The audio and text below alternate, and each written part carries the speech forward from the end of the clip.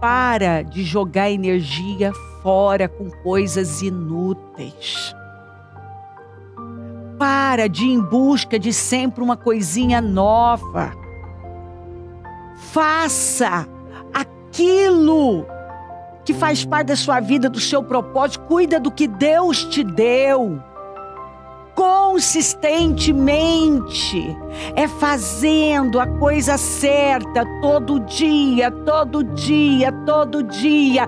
Consistentemente. Que daqui a pouco você vai ter um resultado incrível. Vá fazendo e fazendo e fazendo aquilo que Deus tem direcionado você. Você vai ter resultado, mesmo que hoje pareça que não. E que até pareça que algumas pessoas estão indo muito mais rápido que você. Mas acredite, não é o mais rápido que ganha a corrida. Consistência. Dê a resposta certa todos os dias e você vai ver o que Deus vai fazer por você. Você vai longe.